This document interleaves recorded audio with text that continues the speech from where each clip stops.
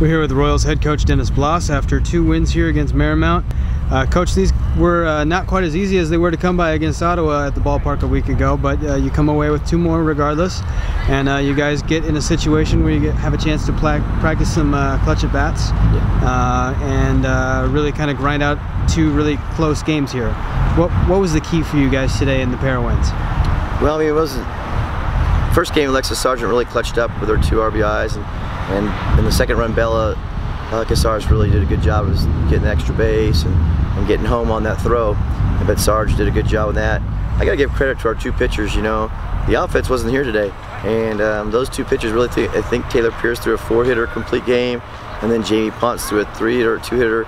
You know, for a complete game again. So our pitchers and our defense did a job. Our offense didn't show up today, um, and uh, yes, yesterday we had a bad practice and it, it showed today. So we got to get ready tomorrow and uh, we got to get ready to go.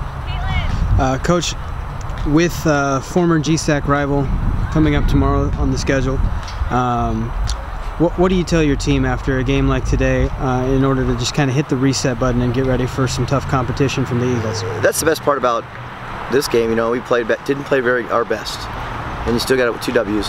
But now you just get to go play another opponent and you know it's a little bit of a rivalry, you know, and and um, and I haven't had most success against them my three years here, and uh, and but our kids are ready to play. They'll be ready tomorrow. We'll bounce back, and hopefully our offense will show up, and then we'll be ready to go. Um, you always gotta love competition, especially Biola. They're a good school, moved up to Division two. That should motivate our kids. That if they could beat a Division two school, then things are gonna go good for us. And then, Coach, if I could, um, you you mentioned a couple names already.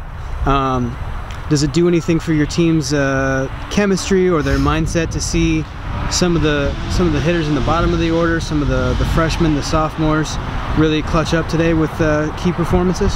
Well, I hope it does. Then I hope it wakes them up. So when they get their shot, you know, that they step up to the plate. You know, that's why we have 26 players in the team because everybody has done a job. Toby Salzman, forgot to mention her in the second game, clutched up, right? Got a base hit, you know, and then and then once she gets that calf injury taken care of, she'll be in there DPing a lot. So it's a good thing. We just got to keep working hard, and uh, once that occurs, we'll be all right. All right. Well, we want to congratulate you on the two victories, Coach, and uh, best of luck tomorrow against Biola. Thank you.